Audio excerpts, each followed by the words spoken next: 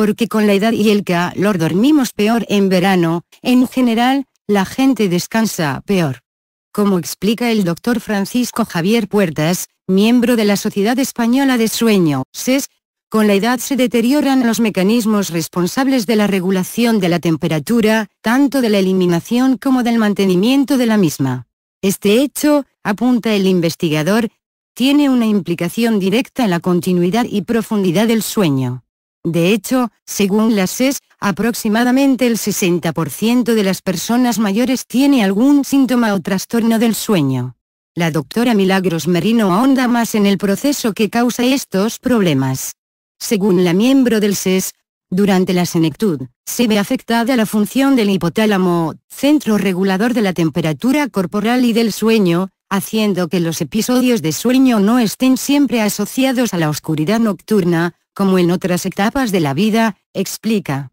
Estos problemas suelen acarrear una alteración de los ritmos circadianos que ocasionan adormecimiento a deshoras y un despertar demasiado temprano. Sin embargo, ese no es el principal problema que conlleva el calor y la vejez. Como explica el doctor Puertas, en los últimos tiempos, se ha constatado que el índice de apnea barra hipopnea por hora de sueño, que es el marcador de gravedad de la enfermedad, aumenta con la edad lo que puede suponer una implicación importante en las consecuencias cardiovasculares del paciente.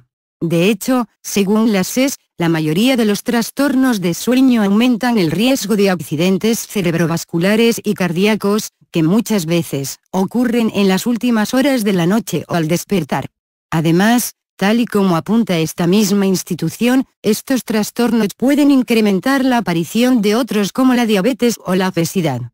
Sin embargo, la principal consecuencia no es tan grave. Estos trastornos suelen acarrear fatiga, somnolencia diurna y pérdida de concentración o incluso desmotivación. Como consejo ante estos problemas vinculados al sueño, desde las 6 recomiendan mantener horarios regulares, realizar ejercicio, acostarse en la cama y evitar estimulantes como el alcohol, el café o el té.